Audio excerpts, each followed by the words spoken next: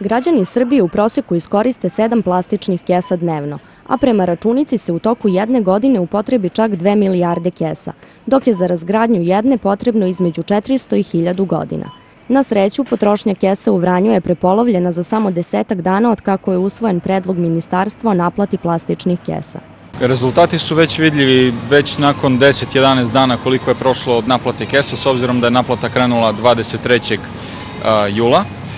Po nekim podacima koje smo izvukli, eto, verovatno su merodavni već nakon ovoliko dana, možda će biti još merodavni, ali negde po potrošnji kesa ona je prepolovljena. Znači, sa nekih možda 8000 dnevno je prepolovljena na 3-4 hiljade otprilike. Negodovanje postoji, nije to strašno kao što smo očekivali. Svi su jednostavno krenuli sa naplatom i veliki trgovački lanci, a i trgovine u samom gradu su se dogovorili da, da zajednički krenu sa naplatom kesa, tako da komentari postoje, svakojaki, ali eto, nije toliko strašno kao, kao što se misli. Što se tiče samih potrošača i njihovih navika, izgleda da naplata kesa daje dobre rezultate. Ili smo kao društvo napravili korak napred u pogledu razvoja ekološke svesti. Pa koristim svoju torbu koju nosim uvek kad pođem sa sobom. Eto, tako da od kako je počela, počelo plaćanje, prestala sam da, da tražim kese. Ne, ne što nam plaćaju, nego ja i ranije keše nisam koristio.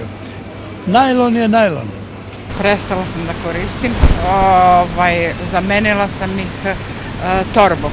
Pa ne zbog novac, zato što štedi, ovaj, štetno deluje na prirodu i gledam svako nosi kese. Zašto? Evo ja nosim ceger, od uvek. To li je teško? Nije.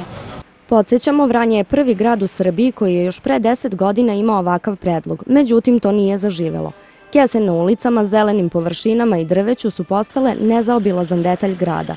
Ovaj drugi pokušaj za sada deluje uspešno. Izgleda da građani prihvataju ideju da kesu sa kesama u kući zamene cegerom, uštede 2 dinara i što je najvažnije, unaprede životnu sredinu.